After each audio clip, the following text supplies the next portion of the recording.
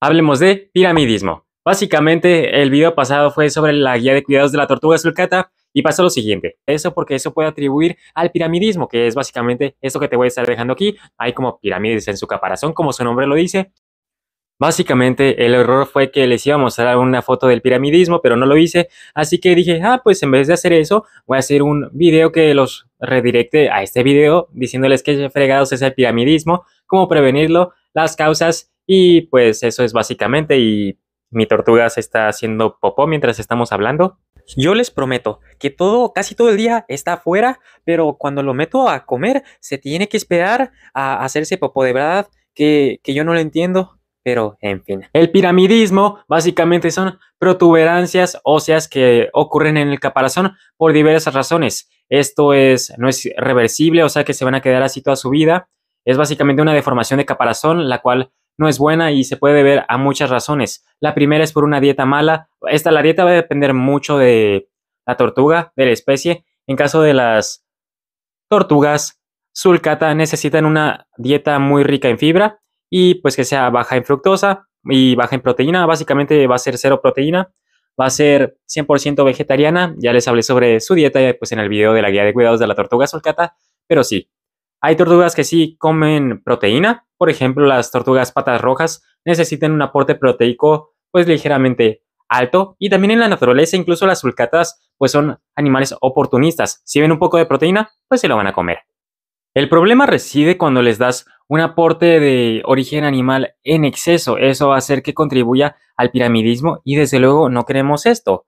Queremos un caparazón liso, bueno, más bien redondo y que sea saludable. Otra de las razones muy comunes es la falta de calcio, no proveer de un suplemento de calcio como este que te voy a estar dejando aquí.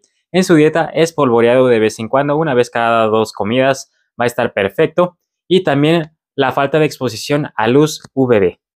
Básicamente, no importa cuánto calcio aportes a la dieta, si no hay luz UVB, no se va a metabolizar ese calcio y no se va a traducir a un caparazón. Chingada madre, otra vez está haciendo popó. Uy, les juro que las tortugas las tienes afuera todo el maldito día y no orinan y no defecan. Nomás las metes a que coman y se empiezan a orinar y defecar en su propia comida. Y neta que yo no entiendo qué le pasa a esta tortuga.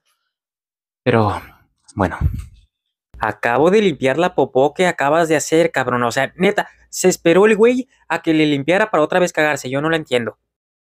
Pero bueno, retomando el tema, hay que entender que el piramidismo no ocurre de la noche en la mañana. Esto es una situación crónica de un cuidado negligente por meses, incluso años. Así que hay que actuar lo más rápido posible desde que son crías, informarse, porque, pues bueno, ahorita Pete, mi tortuga sulcata, es chica, ahorita le proveo del uso bebé, la saco todos los días, estará metabolizando el calcio correctamente, pero sí, hay que actuar rápido e informarse. Y básicamente, como resumen, las tres principales razones por las cuales las tortugas adquieren piramidismo es por falta de calcio, falta de exposición al uso UVB y no poder metabolizar la, pues el calcio correctamente, una dieta mala en general, no solo por dar proteína en exceso, sino comidas procesadas, de que papitas y también comida de perro. Yo no sé por qué chingados la gente le da comida de perro a sus tortugas. Sé que es fácil, sé que es más barato y simplemente dejas el saco ahí, pero no es la forma correcta de alimentar a una tortuga. Tan fácil y barato que es alimentar a una tortuga. Vas, compras un una lechuga romana de 10 pesos, unas calabacitas, unos nopales y listo. Ah, sé que cuando esta tortuga sea más grande, pues va a ser mucho más costoso, pero estas, principalmente su dieta es de zacate, así que si tienes un jardín bonito, pues realmente no necesitas alimentar mucho, simplemente complementa con verduras y listo. Otra razón también que no es tan común es por falta de humedad, para que lo tomes en cuenta y creo que eso sería todo.